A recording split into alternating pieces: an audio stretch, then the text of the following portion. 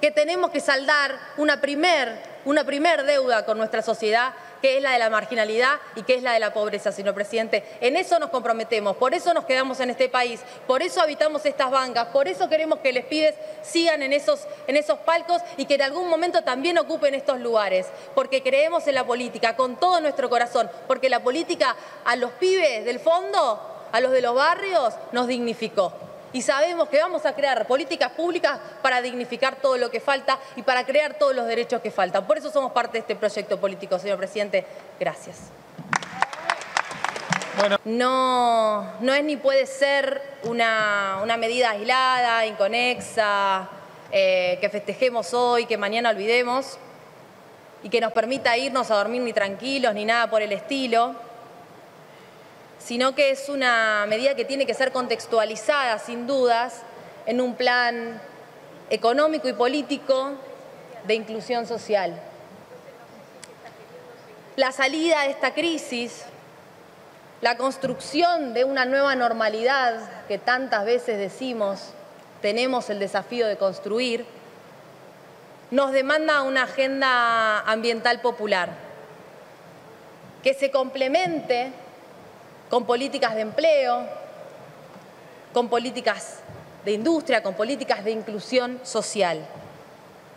Porque acá quiero sí hacer énfasis en algo, ¿no? Si nosotros, nosotras, nosotres entendemos a la pobreza como un indicador multidimensional, pues entonces los problemas ambientales profundizan las situaciones de desigualdad pues entonces los problemas ambientales visibilizan y profundizan aún más las situaciones de pobreza y de injusticia. La falta de acceso al agua, los pibes, les pibes, los menores de 18 años con plomo en sangre, las enfermedades zoonóticas, como esta que estamos hoy padeciendo, este, este, esta pandemia, este COVID-19, como así también el dengue, la contaminación de los acuíferos, por, muchas veces por irresponsabilidad de los grandes empresarios, que siempre tienen algún margen más para mandársela. Los basurales a cielo abierto, los rellenos sanitarios, los pies mal alimentados, los problemas de talla y peso que repercuten obviamente en problemas cognitivos, que repercuten entonces en la imposibilidad de terminar la escuela, ¿no? Estos problemas que profundizan las desigualdades, que profundizan y que generan más situaciones de vulnerabilidad, son causa directa de un modelo injusto, un modelo absolutamente depredador que nos trajo hasta acá a tocar este fondo.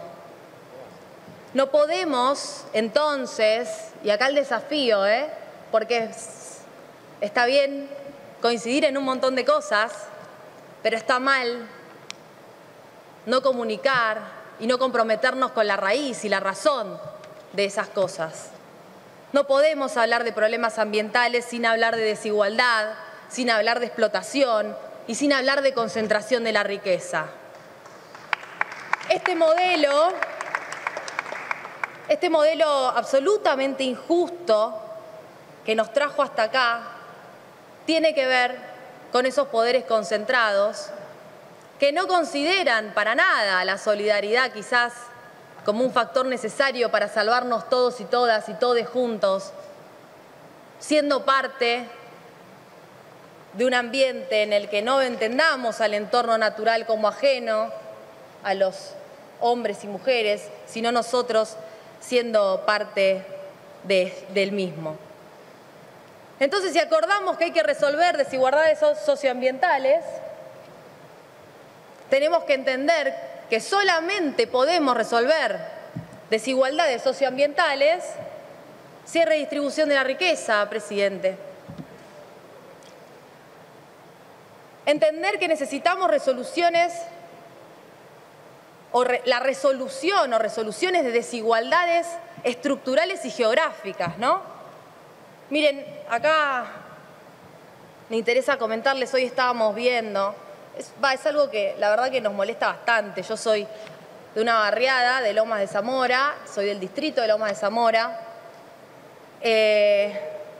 un distrito que, cuyo intendente Martín Insaurralde tomó la definición política de generar estas propuestas de gobernanza ambiental aún antes de que supiéramos por allá de qué se trataba Escazú. Eh, y generamos mesas de participación ciudadana, una que se llama Mesa Local de Gestión Sustentable y a partir de ahí cartoneros, cartoneras, ambientalistas y Estado en todos sus, estratos participamos colectivamente de, los programas o de la propuesta de programas para avanzar sobre esa realidad. El tema es que tenemos, bueno, la verdad es que los intendentes del, del conurbano tienen ese desafío de asumir la descentralización sin, sin los recursos y de ser absolutamente creativos, porque solamente el Ministerio de Ambiente de la Ciudad de Buenos Aires cuadriplica, cuadriplica el presupuesto de todo el distrito de Lomas de Zamora para el millón de habitantes que vivimos en Lomas de Zamora. 48 mil millones es el presupuesto del área de ambiente de la ciudad. Claro, con razón hay helechos con luz. Mientras en el distrito de nosotros de Lomas de Zamora tenemos un presupuesto de 12 mil millones para atender las necesidades integralmente del millón de habitantes que convivimos, que transitamos en ese maravilloso distrito de Lomas de Zamora. Presidente, yo quiero, si me permite, eh, contarle brevemente que mi abuelo eh, trabajó en la forestal. Él es de Villa Guillermina, nació en Villa Guillermina. Cuando era chiquito, él era boyero de la forestal, arriaba los bueyes. Mi abuela también de ahí, de Basail, él de Villa Guillermina, mi abuela de Basail, se encontraron, la forestal los encontró. Eh, ellos desde el amanecer hasta la noche sin descanso, ni siquiera los domingos, no sé si, digo, todos tenemos que saber un poco de historia, ¿no? La forestal entregaba esa especie de recibos para que en sus propios almacenes los trabajadores tuvieran que comprar en los huevos.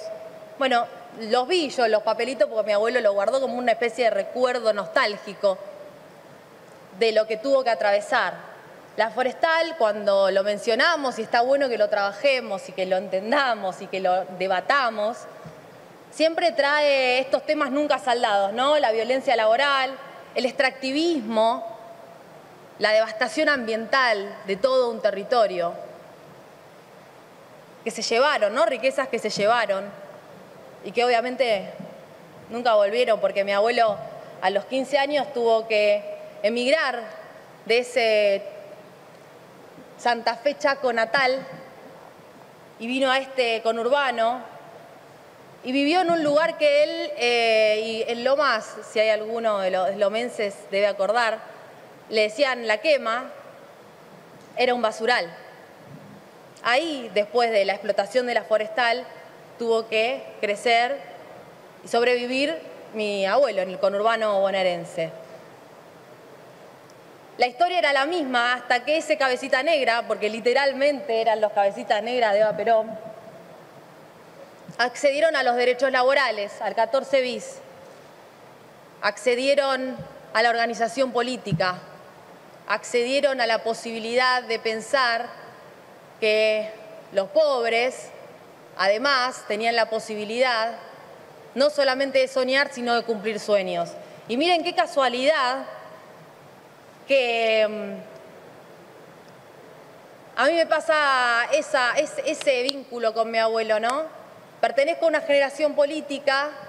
que a diferencia de lo que escuché hoy, lamentablemente acá, reivindica estar sentada estar sentados en este espacio